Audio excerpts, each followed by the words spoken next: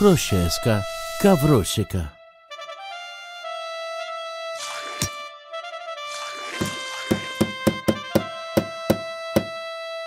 Oh!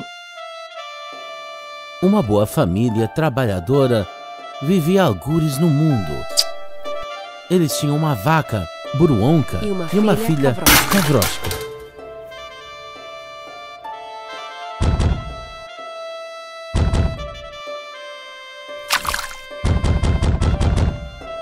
Viviam felizes, mas não sabiam.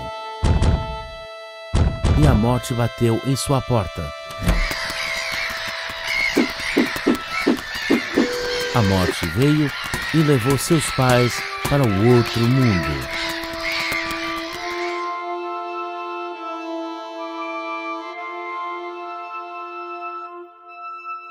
Então, Krocheska Kravocheska se tornou órfã. Só a sua vaca ficou com ela.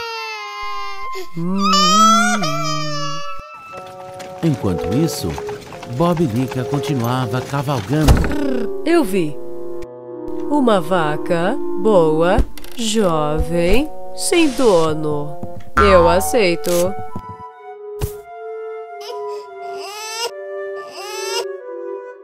E uma garota seria boa em casa.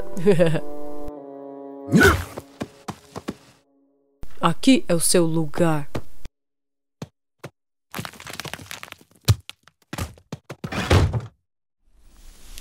Bob Lica tem três filhas: Caolho, Dois Olhos e Olho de Árvore. Essa é a órfã. Krocheska Kovrostika. Ah, vai morar com a gente. Krocheska. Kovrostika.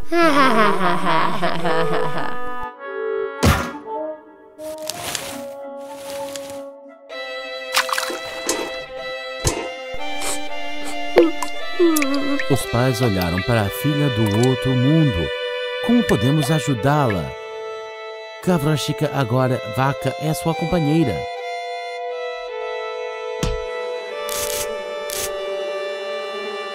Kavroshka.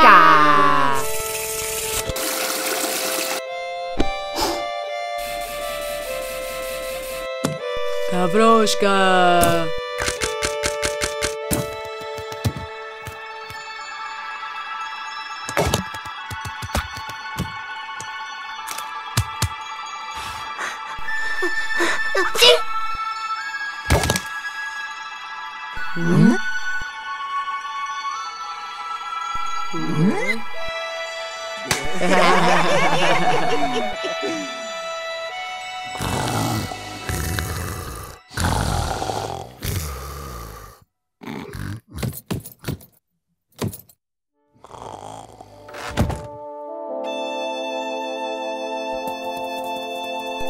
Elas me bateram, Boronoshka. Não me deram pão.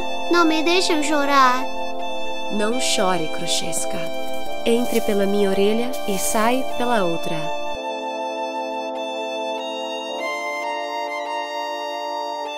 Venha, filha de Kavrocheska.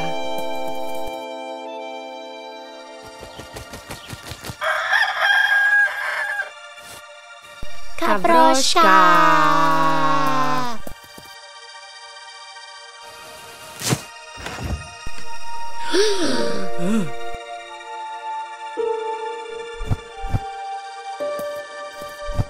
Kavroshka acabou de se tornar bonita.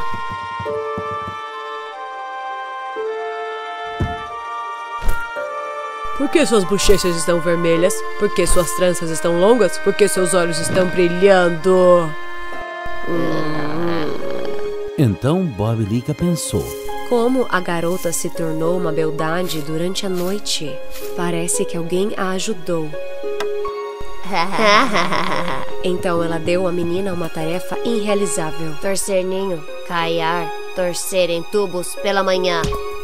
É. e enviou Caolho para vigiar a órfã. Bobulica, as filhas invejam minha beleza. Querem me cansar, me dão tarefas irrealizáveis. Kavroshka. Quem te ajudou a se tornar bonita? Deixe-me trançar o seu cabelo, irmã. Olho adormecido, olho adormecido. Hum.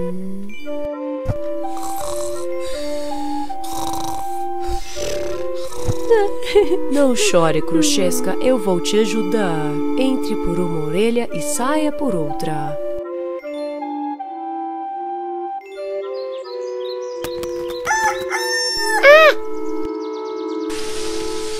Bobilica esperava a resposta em vão. Caolho não sabia de nada.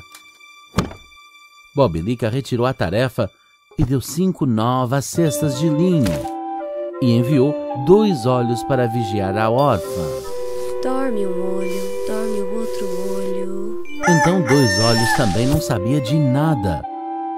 Bobilica ficou com raiva e deu a Cavróstica mais tarefas do que durante todo o ano. Turma um olho, turma o outro.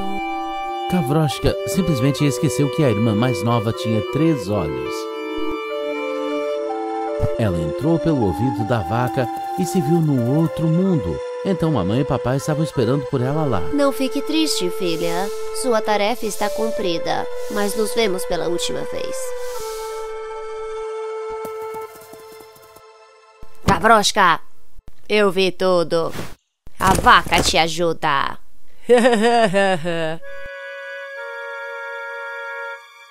Vamos abater a sua vaca. Não chore, Cruxesca. Não coma minha carne. Reúna os meus ossos e enterre. Agora acabou.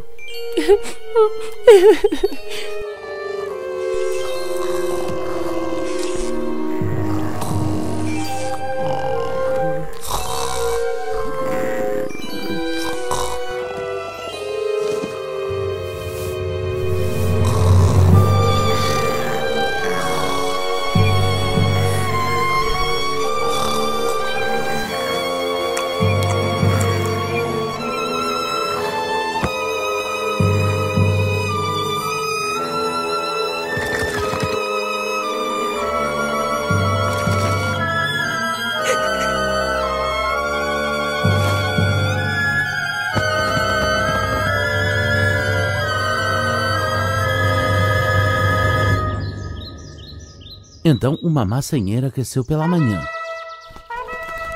Enquanto isso, o rei caçava na floresta vizinha.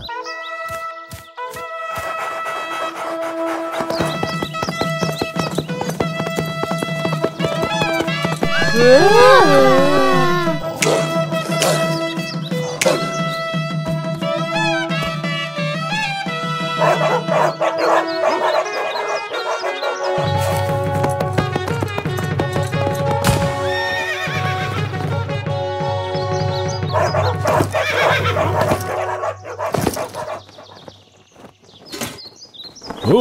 que maçanheira!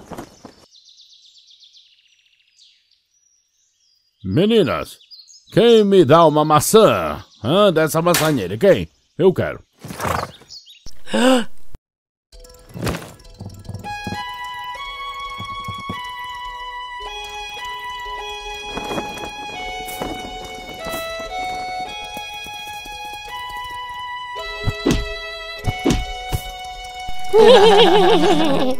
Pegue, corte.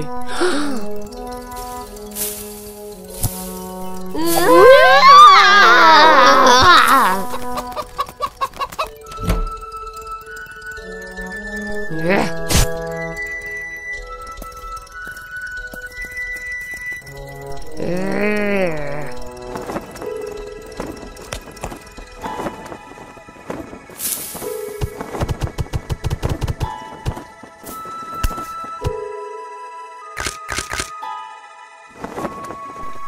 rei, você gostaria de uma maçã?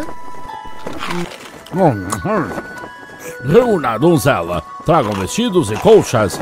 Vamos ao palácio. Querido rei, mas eu não tenho nada. Eu durmo em um trapo. Me cubro com minhas tranças.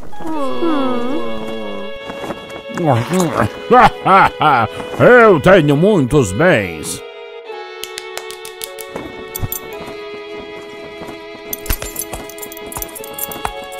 Pare! Pare, Patife, onde você acha que vai?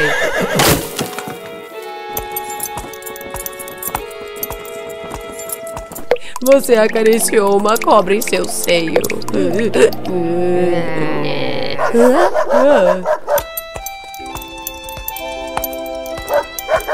Que tipo de rei é você? Nunca te vimos antes. Kavroshka e o rei viveram muito e muito felizes. Então, no outro mundo, os pais e a vaca, Burionka, estavam felizes por Kavroshka.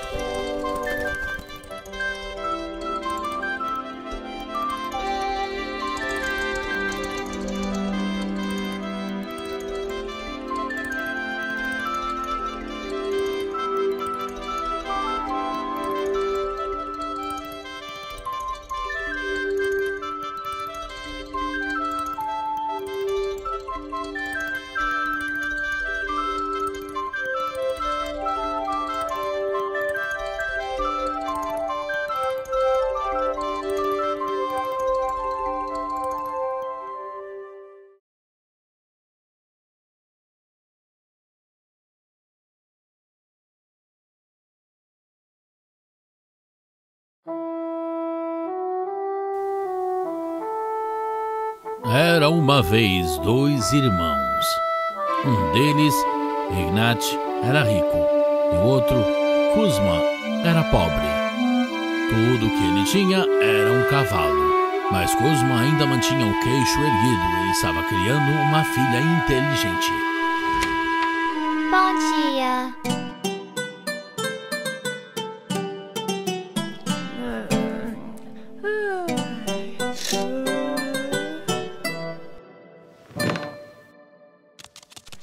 Dia.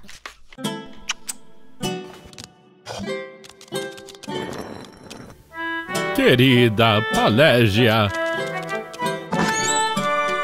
Meu docinho de coco. nosso ganha-pão.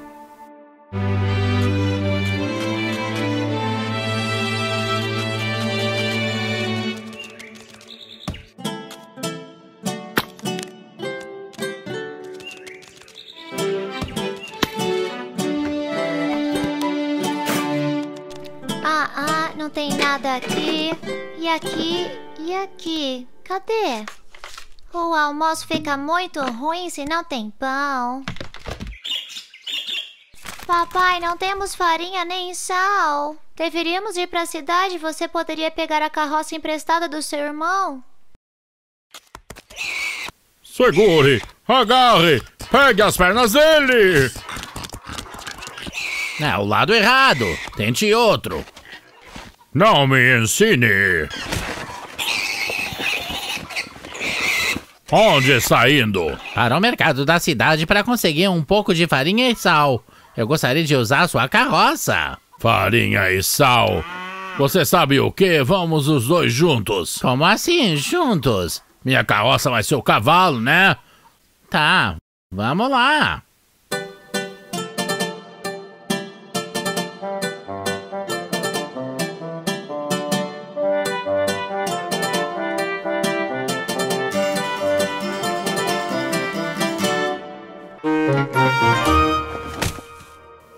Ah, uau!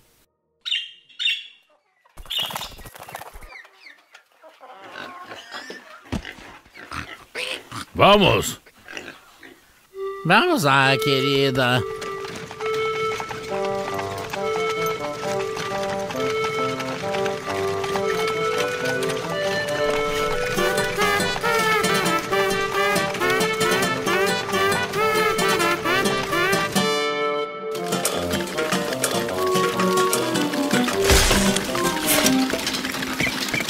Não tão rápido!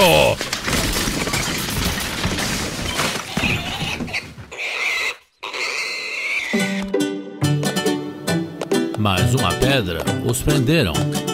Uma roda caiu. É. Então os irmãos não chegaram à cidade. Eles tiveram que passar a noite em um campo.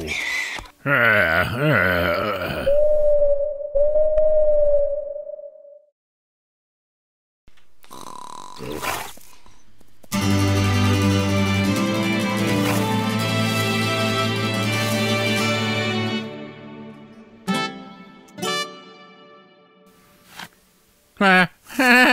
obrigado.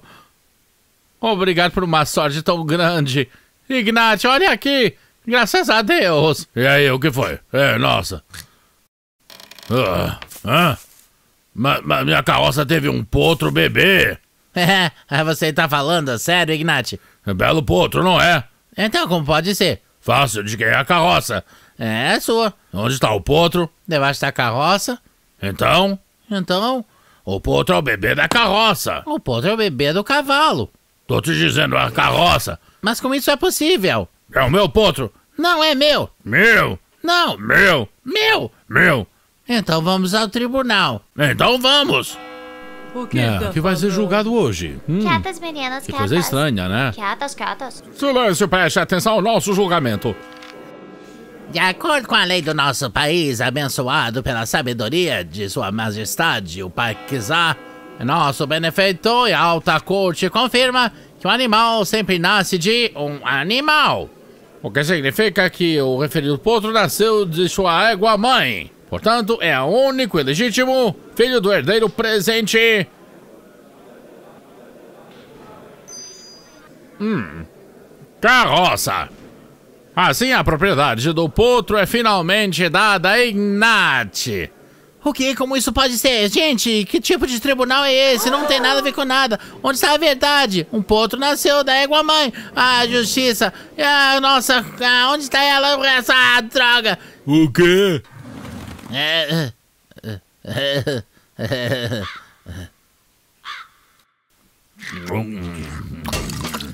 Sabe o que pode acontecer com tais palavras? Corte a cabeça!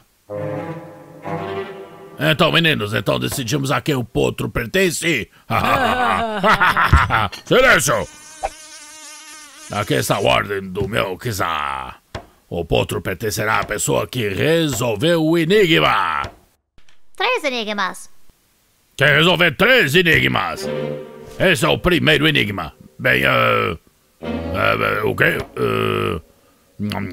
Eh, eh, então, esse, vamos lá. O que é a coisa mais gorda do mundo?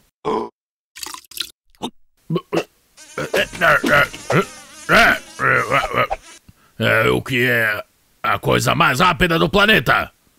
Hã? E.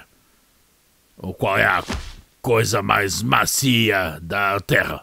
Você deve ter uma resposta até amanhã! Hum, qual é a coisa mais gorda do mundo mais rápido? Chu! Chu!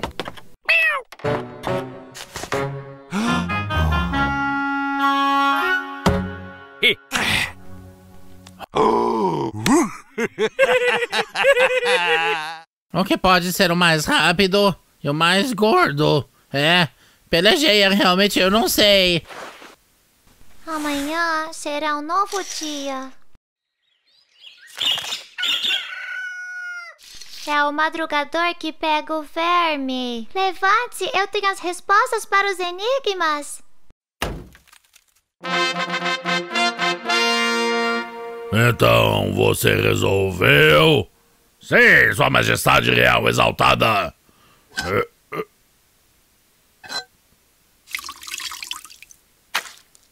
Então responda: qual é a coisa mais gorda da Terra? Sua Majestade Real é o porco da Sua Majestade Real. Oh.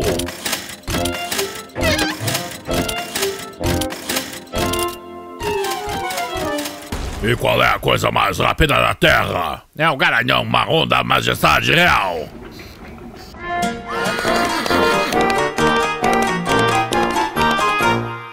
Bem, então qual é o terceiro enigma? Eh, eh, Qual é a coisa mais macia da Terra? Essa é a sua cama de penas real. Bem, e o que você diria? Uma suave majestade é uma mão. Não importa o quão macio seja o seu travesseiro, você coloca a mão sobre a cabeça. O mais rápido é um pensamento. Padre Quezar, esse é um pensamento? Você pode voar pelo mundo em um segundo. E o mais gordo é o solo. Quê? então coma! Na verdade, o solo é o mais gordo. como é o solo que dá e traz toda a comida e bebida a todos. E dá luz a todos. E tudo na sua mesa é um presente do nosso solo. Você pensou nisso por si mesmo? Não, foi minha filha. Que filha?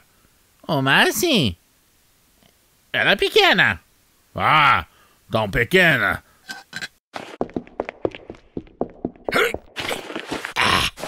Se ela pensa que é muito esperta, deixa ela vir aqui. Certificar-se que ela não é. Uh, verifique que ela não está a cavalo. Mas não a pé. E nem vestida. E nem pelada. E deixe-me pensar sem um presente, mas com um presente.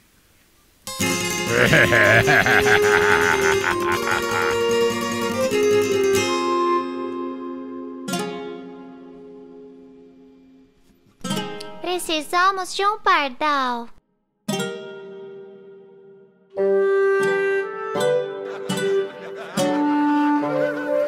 E aí, o que é isso?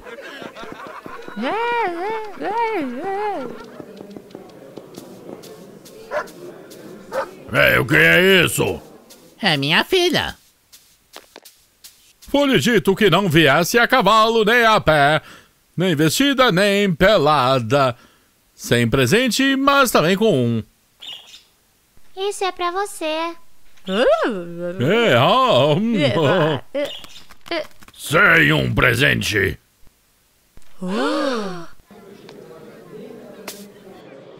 Uau! Uma coisinha tão pequenina e ela irritou. Ela é impressionante. Tão pequena, mas tão inteligente. Eu sou inteligente, mas você, Padre César, talvez você também nasceu da carroça. Você não sabe quem deu luz ao potro? Que vergonha. Dê uma olhada.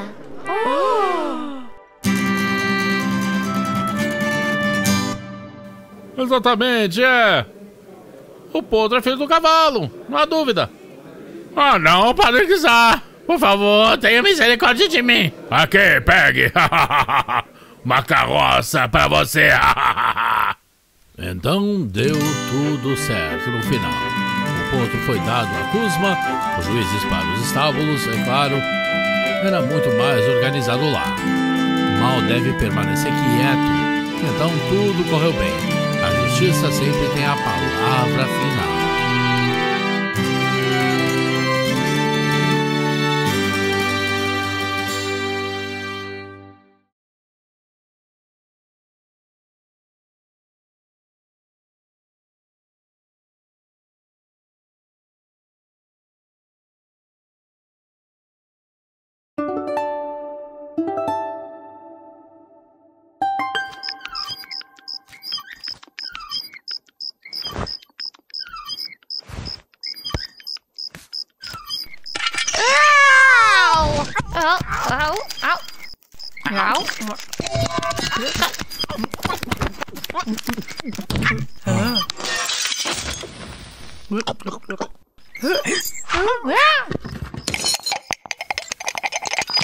Vez havia um homem, e o homem tinha um gato. O gato causava muitos problemas e era um glutão horrível. Aquele gato não servia para nada, exceto para danos.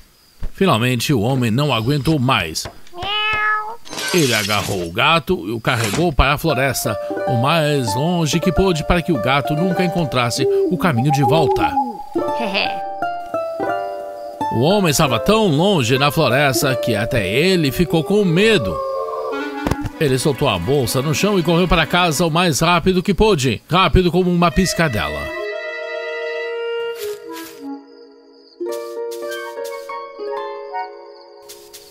Uma raposa estava passando por lá e viu a bolsa e ficou muito curiosa para ver o que havia nela.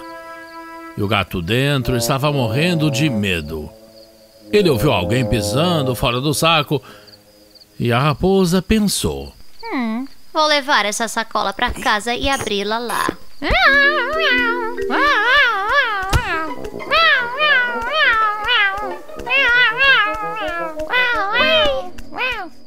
O gato e a raposa se encararam. ambos bastante assustados, mas bastante curiosos. Em todos os meus anos de floresta, eu nunca vi um animal como você. Quem é você? Eu? Eu sou Kotafavenovich. Eu fui enviado para você da floresta siberiana para ser seu governador, sim. governador? Hum, governador? Hum, que grande governador você é, Kotafei Ivanovich. Que porte, que uniforme. O que você diria, Kotafei Ivanovich? Vamos nos casar? Vamos casar? Qual é o seu nome? Eu sou Lisa Vetner Petrovna.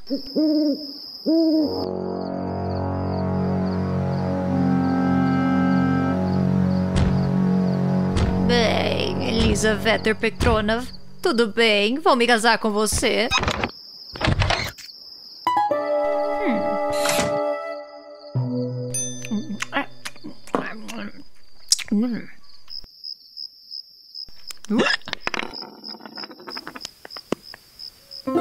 Então eles começaram a viver juntos.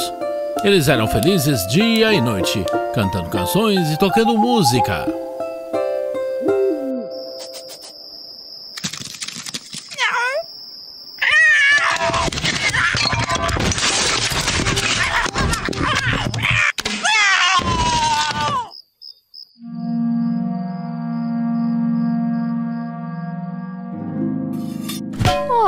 Pobre Kotafei Ivanovich, você ficou com tanta fome que rodou a noite inteira procurando algo para comer. Bem, eu vou buscar comida enquanto você fica aqui, recupera suas forças e nós teremos uma vida rica em breve.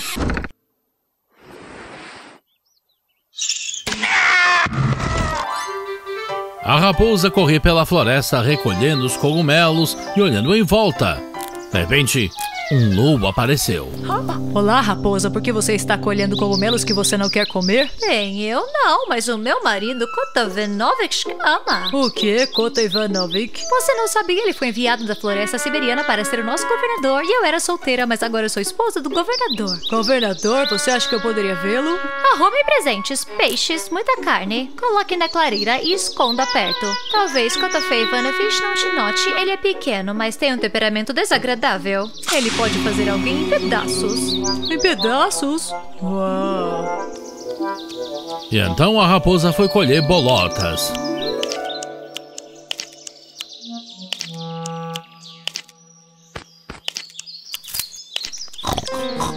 espera, por que você tá pegando as minhas pelotas, hein, raposa?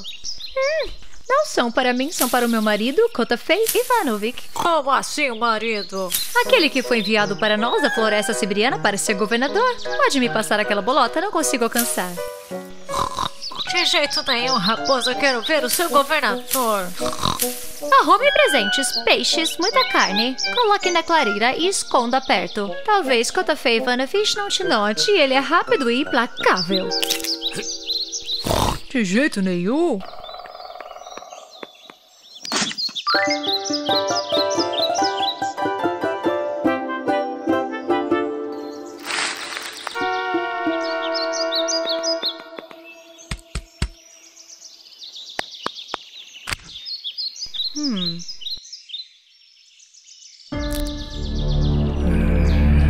Olá, querida raposa, o que você quer?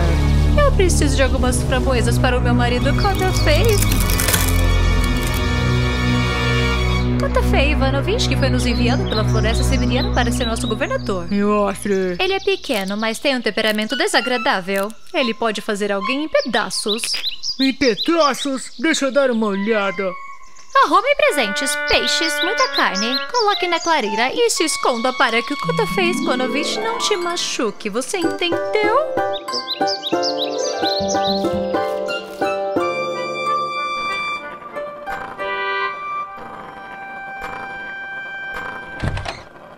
Está entediado, Kotafei Ivanovich? Trouxe para você. Você não gosta? Quer algo gostoso? Em breve você terá grandes animais prestes a vir com presentes. Não tenha medo, eles só vão dar uma olhada em você e já vão logo embora. Ninguém nunca viu um governador de verdade nessa floresta. Não acredito que viemos rastejar por uma raposa e seu marido. Cale-se! Você pode se meter em problemas, mas não nos coloque nisso. A raposa disse para nos escondermos. De jeito nenhum. De jeito nenhum.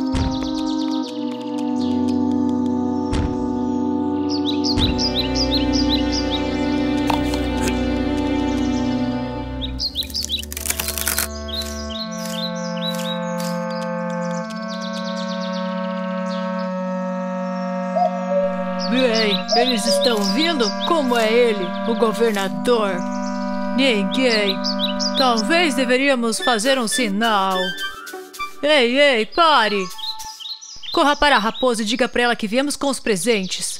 Fala para ela vir para cá com Kotafei e Vivonovich.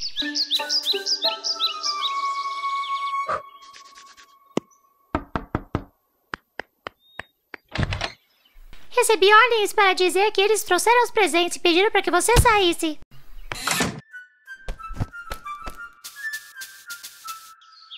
Uh.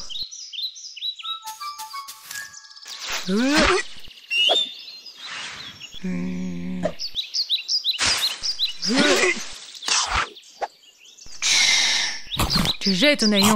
De jeito nenhum. Bem, eles estão vindo? Parece que sim. Como é ele, o governador? Difícil dizer, ele é um pouco pequeno.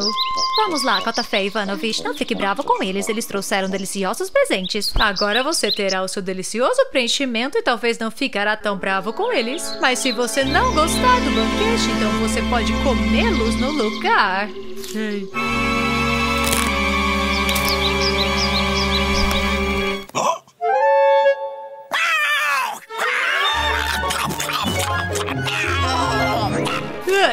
Urso, o que está acontecendo? Eu não consigo ver nada. É um desastre, ele está querendo mais, mas estou preocupado que ele venha atrás de nós. Ah! Onde está indo, Lebre? Está cansado da vida? Eu não aguento mais, eu mesmo vou olhar.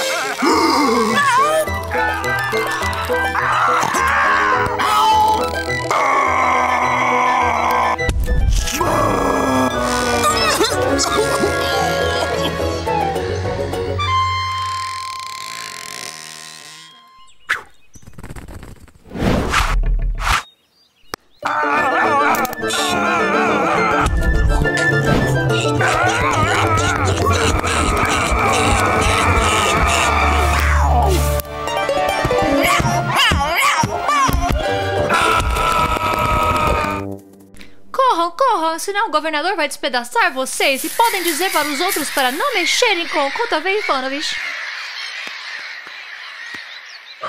Que surra você deu neles, né, Kotavei Ivanovich? Eles se lembrarão por muito tempo.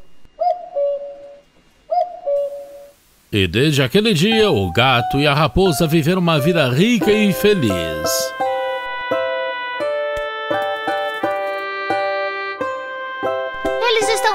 Estão vindo, eles estão vindo. Com presentes estão vindo.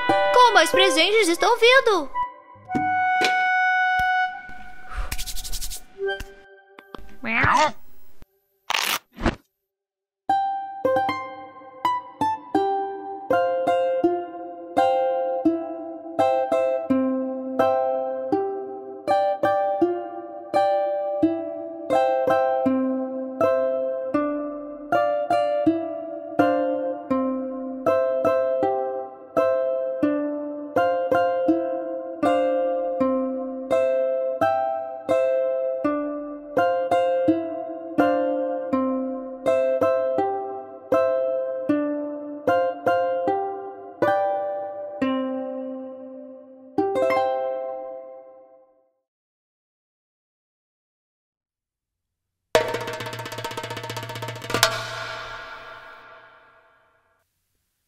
Histórias de Urso Vou desenhar três histórias sobre um urso, o rei dos animais da taiga.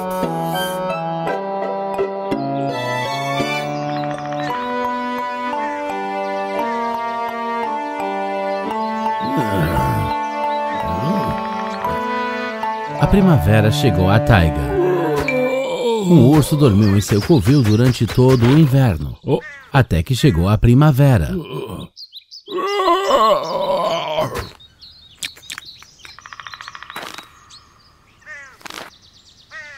Chegou a primavera, mas não há nada para comer. Porque um esquilo tem listras nas costas. Nenhuma baga, nenhuma noz.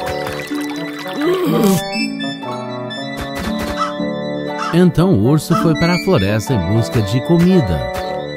Frutinhas! Mas a comida do urso, frutas vermelhas e nozes, não vão amadurecer logo. Então o urso vê um velho toco. Vou descansar um pouco. Havia uma toca de esquilo sob o toco. E o urso quase o esmagou. Ei, tem alguém aí? Saia!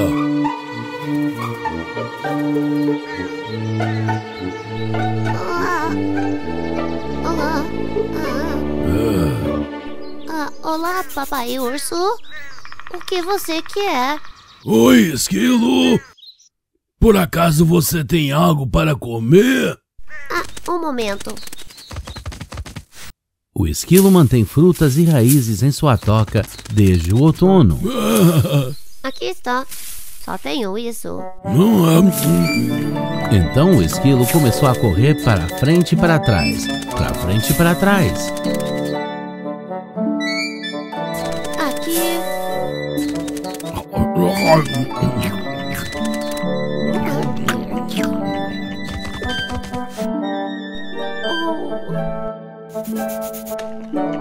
Bem, é isso, urso. Não sobrou mais nada. Não precisa de mais nada. Estou cheio. Você pode ser uma besta, esquilo. Mas você é muito bom. O que foi que aconteceu? Dei um tapa nas suas costas. Não foi tão ruim. Não foi tão ruim assim. Bem, ele fugiu para algum lugar. Obrigado, esquilo! Valeu! Sim, e desde então, todos os esquilos são listrados, como seus filhos e os filhos de seus filhos. E quando eles são questionados de onde vêm essas listras lindas, eles respondem: Ah, nós fomos apagados por um urso de papai.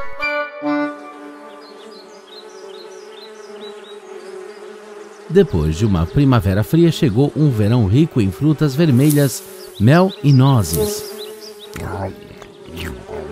Oh, está tão quente. Bem, há muita comida, mas o sol está tão quente que o urso está se escondendo do calor sob as árvores. Porque um crucian é plano. Um crucian vivia no lago. Ele era um fanfarrão e valentão.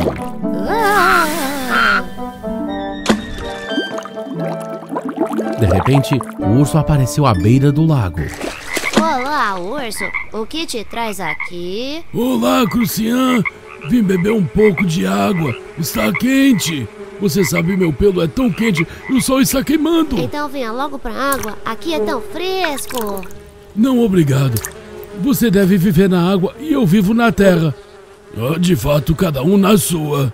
Quanto a mim, posso viver tanto na praia quanto na água. Aqui, ali, aqui, ali, aqui, ali. Eu também posso morar aqui e ali, mas não tenho nenhuma vontade. Vamos testar nossa força. Você entra na água e eu pulo na margem do lago. O vencedor é quem aguentar mais. O que? Você quer que eu discuta com os peixes? Vai embora. Ah, você tem medo, tem medo. Quem? Eu? Certamente. Que urso. Bem, dê uma olhada. Bem, aqui estou eu. Agora é sua vez. Que peixe ruim. Mas o urso não gostava nem de tomar banho, nem de se lavar. Vamos, vamos, espírito ousado. Entre na água e molhe sua coroa.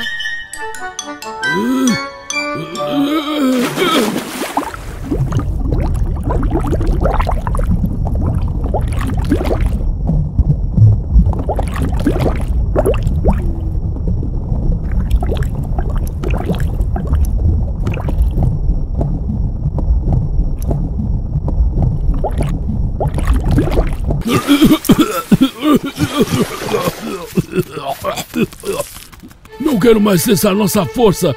Isso é demais. Quase afundei por causa daquele peixinho. Como idiota. Você é um perdedor.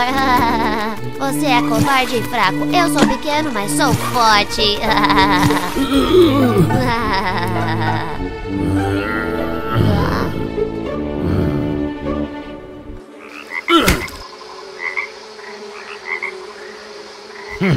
Então o crucian, que era redondo e grosso, tornou-se plano e fino. Nade dessa forma agora.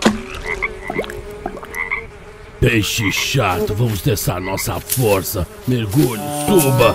Como você gosta disso? Vai, gosta agora, vai. Depois todos os crucians ficaram finos, assim como seus filhos e os filhos de seus filhos.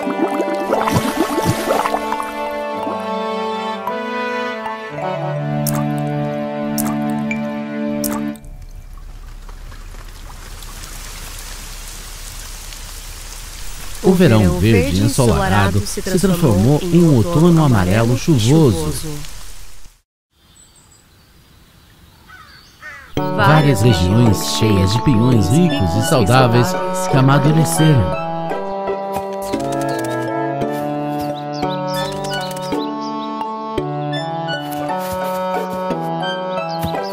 Alguns pássaros voam para o sul, outros ficam nas terras nativas. Para sobreviver a um inverno de fome na taiga, um quebra-nozes precisa se abastecer com as nozes.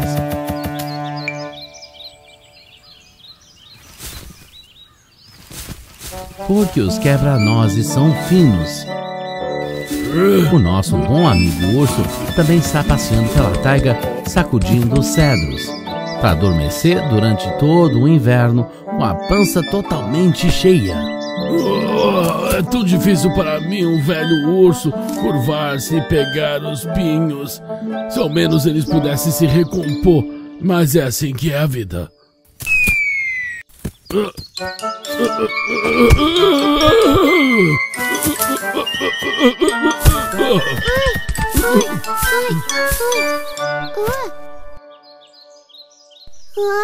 Oi, boa tarde, um, nosso querido urso. Uh, olá, quebra-nozes.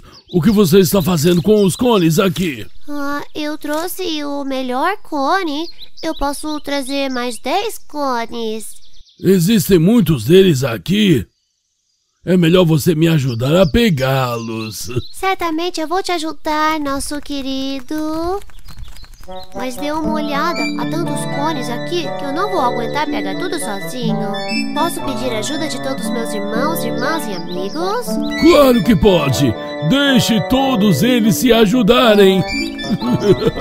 Ei, ei, ei, ei!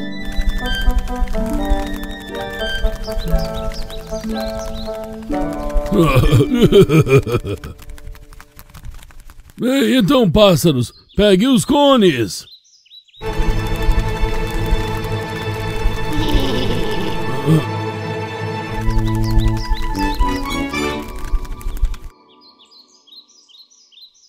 Ei, pássaros, onde vocês estão?